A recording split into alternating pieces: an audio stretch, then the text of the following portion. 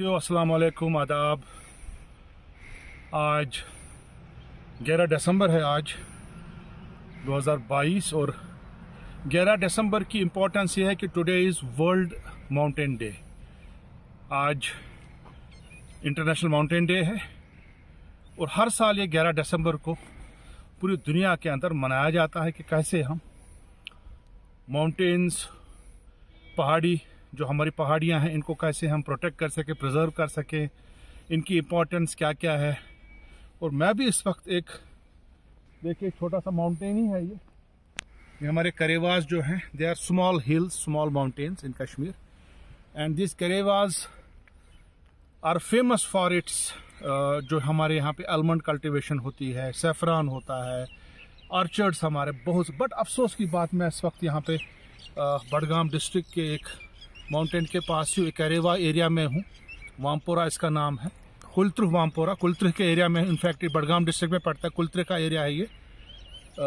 रंगीन कुलत्र बोलते हैं इसको। अब देख सकते हैं कितनी तबाही हो है। कम से कम यहाँ पे डेढ़ सौ मीटर डेढ़ सौ फीट इसकी यहाँ से मिट्टी उठाई गई है।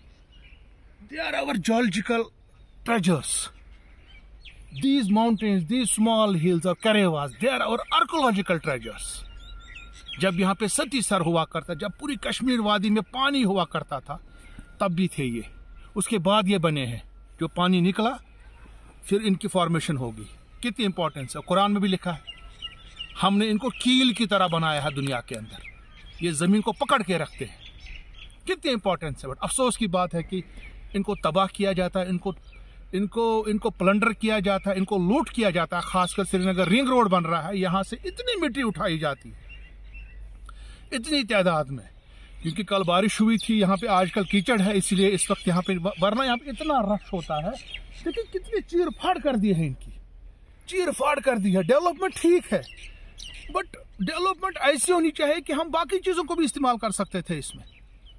हम सिल्ट को उठा सकते थे। हमारे कैनाल से, हमारे फ्लड जो हमारे चैनल्स हैं, या हमारा सॉलिड वेस्ट है, बाकी चीज़ें हैं।